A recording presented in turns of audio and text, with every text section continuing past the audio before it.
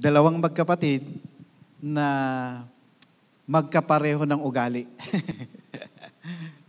o dalawang magkapatid na magkaiba ng ugali. Mayroon pong isang nagpatotoo, ah, nag, nag-testimony, ito ay uh, mag-ama naman. Sabi ng kanyang teacher, sabi niya yung yung tatay ay mayroon kakaibang ugali at kakayanan. Magtatay ito eh. Yung anak ay mayroong kakaiba at magka uh, kakaibang kakayanan din, ugali. Ano po? Ibig sabihin, ang dalawang tao, kahit na ito ay magkapatid, kahit nga kambal eh. Sino ba yung kambal dito sa atin? Marami akong, marami akong kilalang kambal na magkaiba yung kanilang kakayanan, yung kanilang attitude, magkaibang magkaiba, mag, mag, magkalayong magkalayo. Ano po? Dito po sa atin pong pag-aaral ngayong gabi ay mayroon po tayong dalawang tao, dalawang magkapatid na pag-uusapan. Ano po? Pero bago po yun, umiling po tayo ng pangunawa sa atin pong Panginoon. Tayo po ay manalangin sandali. O Diyos na dakila, kami ay lumalapit una sa inyo dahil ang amin pong panahon ay igugugol po namin sa pag-aaral ng ipong salita. Sa sandaling panahon, Panginoon, mangusap ka po sa pamamagitan po ng banal na Espiritu. At Lord, ang mga salitang ito at ang mga pangyayaring ito ay maging dahilan para lalo kaming mapalapit sa iyo, lalo po naming makilala ka ng lubusan. Pinagkakatiwala ko sa itago niyo po, Panginoon, sa likuran ng ipong cross, ang ipong tagapagsalita, nang sa gayon ang kaluwalhatian mo po ang siya pong makita ngayong gabi. Dalangin ko po ito sa pangalan ni Kristo Jesus. Amen. Basahin po muna natin sandali ang mga talatang ito sa Lucas chapter 10. Luke chapter 10 verses 38 to 42. Lucas kabanatang 10, mga talatang 38 hanggang 42. Tagalog po ang akin pong hawak na Biblia ngayon. Na po? Kung inyo pong bubuksan sa inyo pong mga Biblia na English, kayo po ay susunod, babasahin ko po sa Tagalog. Ito po yung sinasabi. Sa pagpapatuloy nila sa kanilang lakad, pumasok siya sa isang nayon. Isang babae, ang pangalan ay Marta, ang tumanggap kay Jesus sa kanyang bahay. At siya ay may isang kapatid na tinawag na Maria, na Maria, naupo sa paanan ng Panginoon at nakinig sa kanyang salita. Ngunit si Marta ay nag-abala sa maraming paglilingkod. Siya ay lumapit sa kanya at sinabi, Panginoon, wala bang anuman sa iyo na pinababayaan ako ng aking kapatid na maglilingkod ng mag-isa? Sabihin mo nga sa kanya na tulungan ako. Subalit sumagot, sumagot ang Panginoon at sinabi sa kanya, Marta, Marta, nag-aalala ka at nababagabag tungkol sa maraming bagay. Subalit isang bagay ang kailangan kailangan pinili ni Maria ang, ni Maria ang mabuting bagay na hindi kukunin sa kanya. Ang Panginoong Hesus po ay uh, nangangaral, naglalakad na nagme-ministeryo nung pong mga panahong yon. Isang pagkakataon na marahil kailangan niya siguro na manahimik na muna, magpahinga muna sandali kasi daming tao ang kanya pong mga nakasalamuha. Maraming mga tao ang kanyang nakasalubong, nakakwentuhan. At siguro sa kanya pong physical o sa kanya pong uh, pagkatao o sa kanya pong physic, uh, tawag dito, makalupang katawan, ay nakaramdam siya ng nakatam, nakaram, nakaramdam siya ng pagod. Nakaramdam siya ng siguro talagang yung kanyang isip ay gulong-gulo din marahil dahil sa kanya pong makalupang katawan. No po? Kaya ninais niya na magkaroon ng isang maiksing panahon o pagpapahinga physically at alam niya, nandoon siya sa, sa uh, malapit sa bahay ng magkakapatid na ito, si Maria si Marta at si si Lazaro. Sa kanila pong sa kanila pong tradisyon o sa kanilang kultura, ang isang tao na hindi mo kilala ay hindi mo dapat pinatutuloy sa bahay. Sa kanilang tradisyon, kung hindi mo kilala ang laman ng loob ng bahay na yan, hindi ka pwedeng pumunta sa kanila. Hindi ka dapat pumunta sa kanila. At lalo higit, hindi ka pwedeng makikain sa kanila. Ibig sabihin po, sa pangyayaring ito, mayroong, mayroon matinding o malapit na relasyon si Jesus, ang ating Panginoong Heso Kristo, kay Maria, kay, Mar- kay Marta, at saka kay, kay Lazaro. Dahil pumasok siya sa kanyang tahanan. Pumasok siya doon sa kanilang tahanan. So isa po makikita natin na ang Panginoon ay malapit sa kanyang mga mga anak o sa kanyang mga close friend. Kasi ito pong mag, ito pong mag-anak na ito, ito pong magkapatid na ito ay talagang kinakikitaan natin ng mas malapit na relasyon dahil sa maraming bagay, maraming bagay at maraming pagkakataon na makikita nating talagang binigyan sila ng panahon ng Panginoon. So dito po, gusto ko pong bigyan natin ng pansin, mabilis pong bigyan natin ng pansin, at alam ko hindi po tayo magtatagal sa mga bagay na ito. Gusto ko pong bigyan natin ng pansin yung dalawang, dalawang magkapatid. Gusto, gusto kong bigyan natin ng uh, comparison yung dalawang magkapatid. Ano po? Si Marta, si Marta po ay makikita natin, uh, dito siguro sa mga talatang ito, o ayon sa akin pong mga nasubaybayan, tatlong, tatlong lugar sa Biblia na makikita si Marta. Sa tatlong lugar. Una, makikita po natin itong si Marta doon po sa Luke chapter 10. Ito po yung binasa natin. Luke chapter 10. Yun nga yung na pumasok siya sa bahay, pumasok si Jesus sa bahay nila at siya ay nag-host o naghanda ng pagkain kay Jesus. Ang gusto ko pong itanong ngayong gabi, kung kayo po ang bisita, anong gusto nyo? Yung pagsilbihan kayo o yung maupo siya sa harap ninyo? O yung maupo siya sa, sa tabi ninyo at magpagkwentuhan? Maraming bagay po mga kapatid na minsan pumupunta ka sa isang bahay na kaibigan, kaya ka pumunta doon dahil makikipagkwentuhan ka, di ba? Kaya ka pumunta doon dahil meron kang kailangan. Kaya lang, hindi nabibigyang pansin una yung purpose ng pagpunta mo doon kasi ang isip, ang isip ng iyong kaibigan sa tahanan ay mapakain ka, mabigyan ng kaluguran, bigyan, mabusog yung iyong katawan. Sa maraming bagay, napagod na siya. Pagkatapos noon ay hindi na kayo nakapag-fellowship, hindi na kayo nakapagkwentuhan. O minsan ay kaya mo gustong pumunta doon dahil gusto pong mag-voice out, di ba? Dito po sa panahong ito, sa akin pong, sa akin pong ano lang po ha, sa akin pong pananaw, gusto lang magpahinga ng Panginoong Yesus. Dahil maraming bagay, marami siyang pinagdaanan, uh, nag-ministry siya sa maraming mga tao. Gusto niya ma-relax, marahil. Gusto niya ma-relax yung isip kasi nga, lagi siyang, sinis, lagi siyang tinatawag. May isang pagkakataon, yung, yung bulag, yung, yung, yung pilay, pumupunta, sumisigaw at tinatawag siya. At kung naalala nyo, yung mga pagkakataon na minsan ay may nakahawak sa kanyang laylayan, uh, naramdaman niya. Ibig sabihin talagang ramdam ng Panginoon ng maraming bagay. At dumating ang Panginoon, dumating ang Panginoong Jesus na marahil emotionally ay pagod rin siya. Marahil physically ay pagod din siya. Ano po? Kaya gusto niya munang magpahinga. At maraming bagay, napansin niyo po na sa isang pagkakataon ay pagod na pagod rin sila, pero gusto niyang siguro spiritual sa kanyang spiritual na buhay. Gusto niyo pong manalangin, pumunta siya sa isang lugar. Dito po sa pagkakataong ito ay, pangalawang pagkakataon, si Marta, nakita po siya nung si Lazaro ay namatay. Alam niyo po, kung maalala niyo po ang pangyayari po dito, pagdating ni Jesus Christ, ano siya, ano, parang kumbaga, ano siya, yung aligaga. Aligaga na naman si Martha sa mga pagkakataong ito. Dito po sa chapter 10, aligaga din siya eh. Hanap siya ng mga pagkain, luto siya ng pagkain para mapakain si Jesus Christ. Aligaga siya.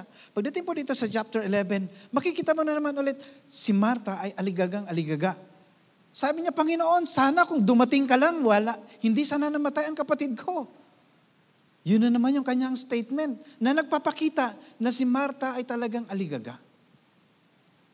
Kumbaga talagang uh, hindi siya hindi siya mapakali sa kanya pong iniisip. Yun yung pangalawang pagkakataon na nakita po natin sa sa Biblia sa sitwasyon ni Marta. Pangatlo, makikita po natin siya doon sa John chapter 12 dito ulit ay nag-ano siya, nag-serve ulit siya sa Panginoon. Nagpakain ulit siya sa Panginoon.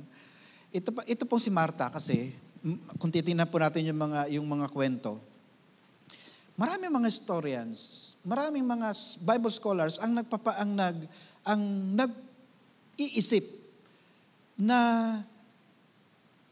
ang tahanan ni Marta ay iniwan sa kanya parang iniwan sa kanya ng, ng kanya pong, ng kanyang asawang lalaki. Opo. At dahil siya po ay, siguro siya mas may edad sa kanilang magkakapatid, talagang nandoon yung kanyang responsibility.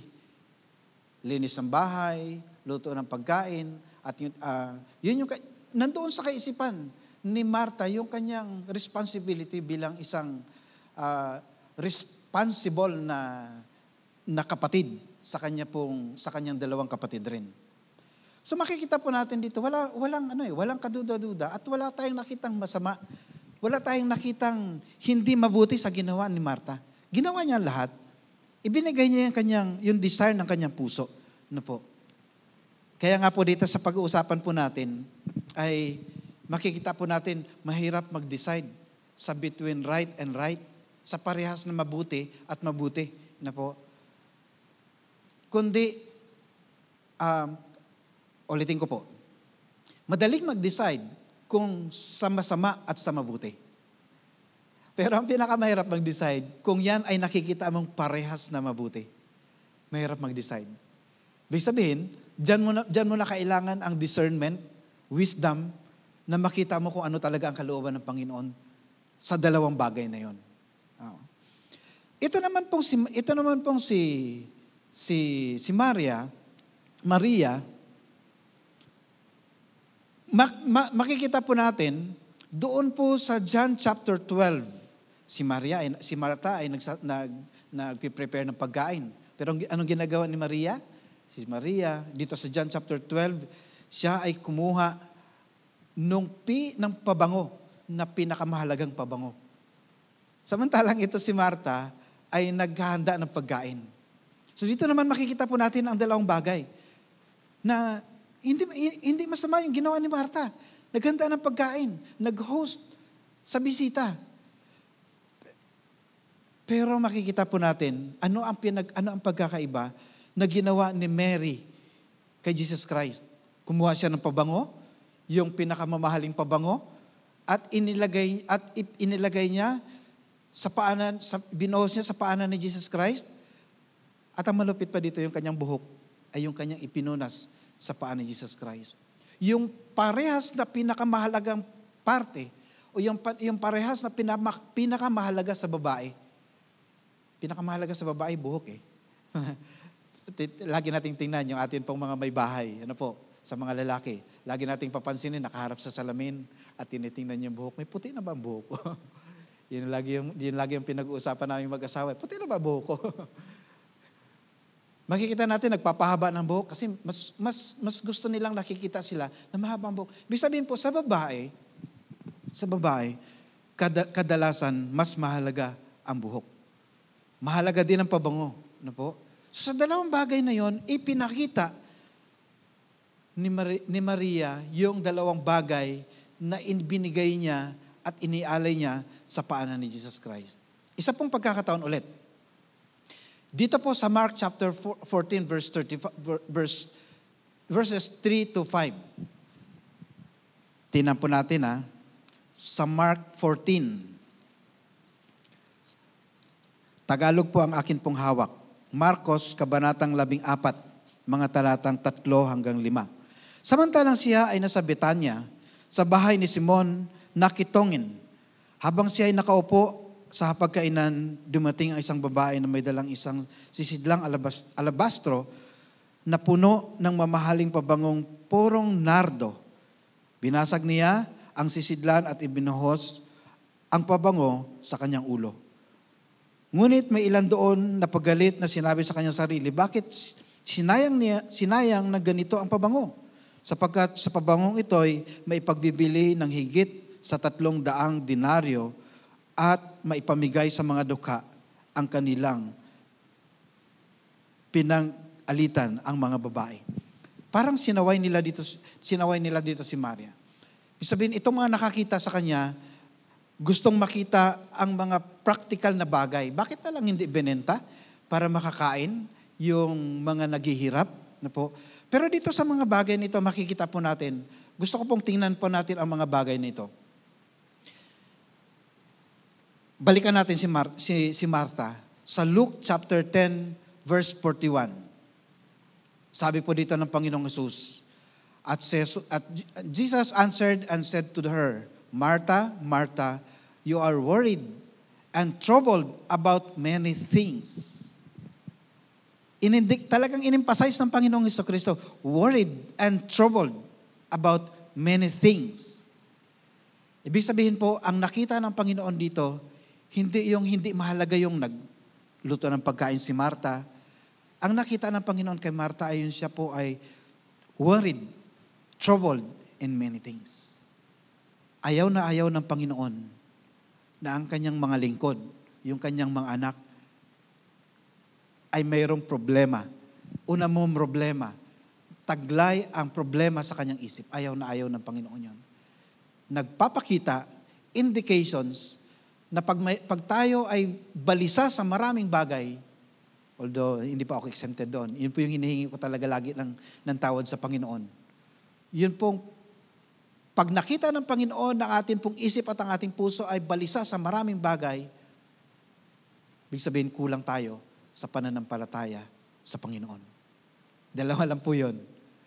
Ganon din po yung nangyari kay, Mari, kay, kay, kay Maria. Nagustuhan ng Panginoon si Mar- kay Maria, nakita niya ang pananampalataya at pagtitiwala. Bukod sa gusto niya talagang makuusap ang Panginoon, bukod sa gusto niya makinig sa kwento ng Panginoon, gusto niyang gusto niya talagang magkaroon ng close relationship sa Panginoon. Bukod doon, ako po ang napansin ko doon ay nakita ng Panginoong Yesus yung matinding pagtitiwala ni Maria sa atin pong Panginoong Yeso Kristo. Nakita ng Panginoon ang puso ng dalawang ito. Ulitin ko po, walang masama sa ginawa ni Martha, naghanda ng maraming bagay. Ang nakita dito ng Panginoon, minention niya po in specific, in specific niya po, you are worried and troubled about many things. Sabi niya, Marta, punong-puno ka ng alalahanin. Basahin ko po sa Tagalog, ano po? Punong-puno ka ng alalahanin. Ito sa 41. Nang narin, um, Mark 10,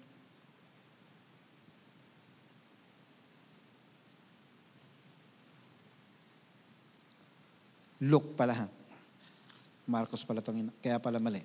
Luke 10:41, ito po yung sinasabi, Subalit sumagot ang Panginoon at sinabi sa kanya, Marta, Marta, nag-aalala ka at nababagabag tungkol sa maraming bagay. Subalit, isang bagay ang kailangang pinili ni Marta, ni Maria, ang, mabut, ang mabuting bahagi na hindi kukunin sa kanya. Ako po, ang napapansin, ang napansin ko lang dito ay, yun nga, dalawang bagay pagkakaiba. Kabalisahan at saka pananam, pagtitiwala. Pagtitiwala at saka kabalisahan. Ano po ang mayroon sa atin ngayon? Ano ang mayroon sa atin ngayon? Maraming bagay na atin pong nakikita. Maraming bagay ang atin pong mga nararanasan. Bukod sa nakikita natin ang mga pangyayari, bukod sa nararanasan natin ang mga pangyayari, ano ang mayroon sa atin? At ito po yung lagi kong hinihingi ng tawad sa Panginoon yung kawalan ng pananam. Alam ko po yun eh. Personally, alam ko po yun. Na pag ako ay nag-iisip na ng maraming bagay, na may problema na sa maraming bagay, alam ko po na ako ay hindi na nagtitiwala sa aking Panginoon. At maraming beses ko pong nararanasan yung mga bagay na yun. At one time, hindi ko na po i-specific po ito ha, meron po ako isang pagkakataon na talagang balisang-balisa ako sa isang bagay. Pero nung minsang ibinigay ko at inilaga ko sa Panginoon, unti-unti gumawa ang Panginoon ng kapamaraanan. Dahil yung aking pinag-aalala, ay napakasimple lang pala. Nangyari. Sa akin kasi nung mga panahon na yon dahil problemado ako, talagang hindi kaya nang abutin ng isip ko paano mangyari. Pero nung ipinagkatiwala ko sa Panginoon, Lord, wala na, hindi ko na kaya eh. Alam ko, pwede, pwede kang gumawa. Kinabukasan, maraming bagay, maraming idea ang ibinigay ng Panginoon.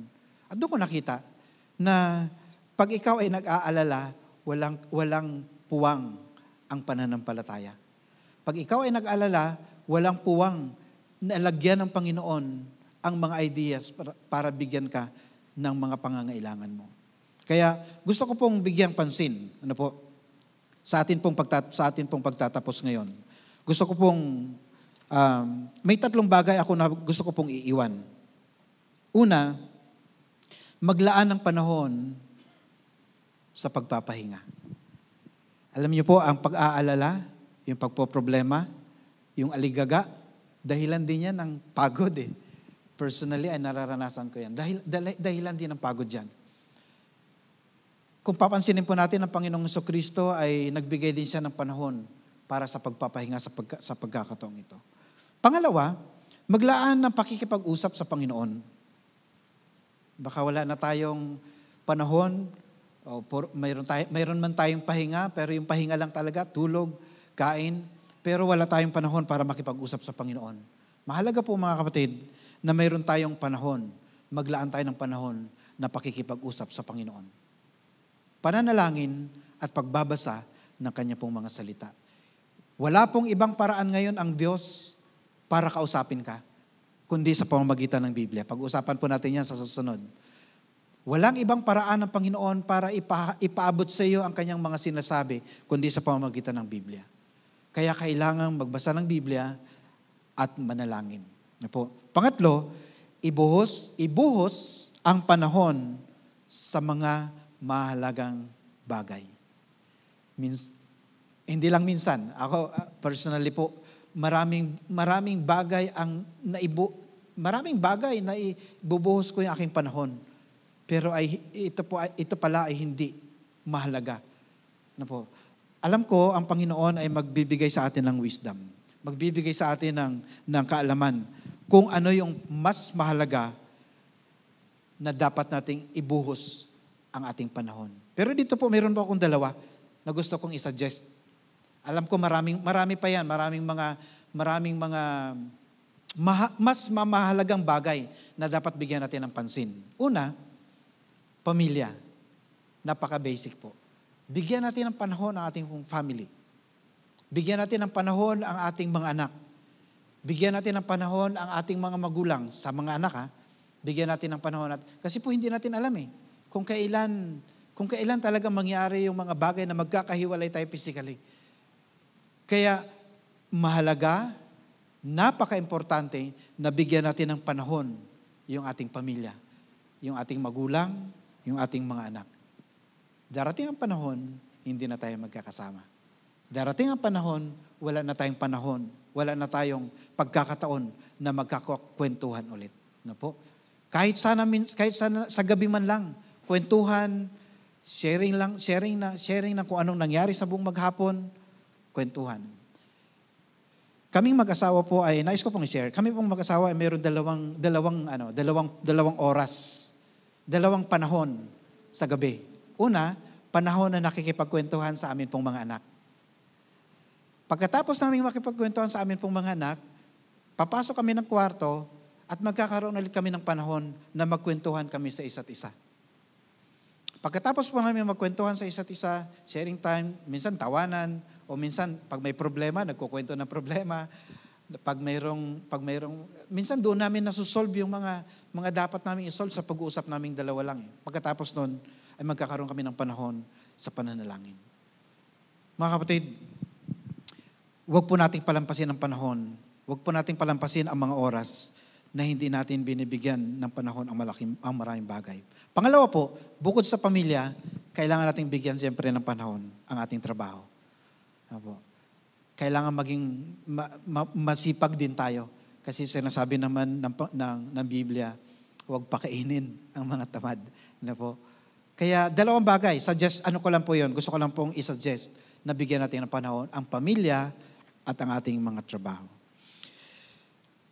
Matthew chapter 6, ito po yung dalawang verse na gusto pong iiwan ngayon at alam ko pong familiar po ito sa atin pero sisimulan ko po sa 25. Kung gusto niyo po akong samahan sa pagbabasa, Matthew chapter 6 verse 25 hanggang 34. Pakinggan niyo po at kung gusto niyo pong basahin din sa inyo pong mga Biblia. Mateo 6, 25 hanggang 34. Kaya nga sinasabi ko sa inyo, huwag kayong mabalisa sa inyong buhay kung ano ang inyong kakainin o kung ano ang inyong iinumin. Kahit sa inyong katawan, kung ano ang inyong isusuot, hindi ba higit ang buhay kaysa pagkain at ang katawan kaysa damit. Tingnan ninyo ang mga ibon sa himpapawid. Hindi sila naghahasik o naggumagapas o nagiimbak man ng mga kamalig. Ngunit pinapakain sila ng inyong ama na sa langit hindi ba higit na mahalaga kayo kaysa sa kanila? Sino sa inyo na dahil sa pagkabalisa ay mapapahaba ang kanyang buhay? At kung bakit kayo nababalisa tungkol sa pananamit, pansinin ninyo ang mga leryo sa parang kung paano silang lumalaki, hindi sila gumagawa o humahabi man, sapagkat gayon man sinasabi ko sa inyo, kahit si Solomon sa buong kalwalatian niya ay hindi nakapagdamit ng katulad ng mga ito. At kung gayon, binibihisan ng Diyos ang mga damo sa parang, sa gayon ay buhay. At sa kinabukasan ay itinatapon sa, sa sakalan. Hindi ba lalo niya kayong binibihisan o kayong maliliit ang pananampalataya? Huwag ninyo, huwag kayong mababalisa na magsasabing ano ang aming kakainin, ano ang aming iinumin, o ano ang aming isusuot. Sapagkat hinahanap ng mga hintil ang lahat ng mga bagay nito at higit at batid ng inyong ama sa langit ang kailangan ninyo ang lahat ng mga bagay nito. Ngunit hanapin muna ninyo ang kanyang kaharian at ang kanyang katwiran at ang lahat ng mga bagay na ito ay pawang idaragdag sa inyo. Kaya't huwag ninyong alalahanin ang bukas sapagkat ang bukas ang mag-aalala sa kanyang sarili sapagkat para ngayon, ang kabalisahan sa araw na ito. Gusto ko pong bigyan ng pansin. Hindi pwedeng dugtungan ng ating pagbabalisa ang ating buhay. Kundi pananampalataya, alam ng Panginoon ang lahat ng bagay. Gusto kong balikan ulit ang dalawang, dalawang magkapatid. Ang pinansin po ng Panginoon una ay yung pong pagkabalisa ni Martha. At napansin at hindi mawawala kay Maria ang isang bagay. Ano yon? Yung matinding pananampalataya sa atin pong Panginoong Iso Kristo. Tayo po manalangin. Panginoong Diyos, natunghayan po namin ang mga bagay na binigyan niyo po ng pansin at nakita po namin, Panginoon, sa dalawang magkapatid na ito. Tulungan niyo po kami, Panginoon, na ang pagkabalisa ay mapunan, matanggal, at ito po ay matakpan, Panginoon, ng matinding pagtitiwala sa inyo. Dahil ikaw ay makapangyarihan. Lahat ng bagay ay pwede niyo pong gawin. Kaya, isa man, Panginoon, sa amin ngayon, na siya ay nababalisa, maraming iniisip, Panginoon, bigyan niyo po ng kapayapaan. Palitan niyo po ng, ng pananampalataya ang kanya pong puso. Pagtitiwala sa inyo. Padalo niyo po ang masaganang pagpapala sa bawat tahanan na nakikinig ngayon, sa bawat individual na nakikinig ngayon, Panginoon, ibuhos niyo po ang masaganang pagpapala sa kanila. Ibinabalik ko sa iyo ang papurit pa sa salamat sa tanging pangalan ni Kristo Jesus. Amen. Purihin po ang Panginoon.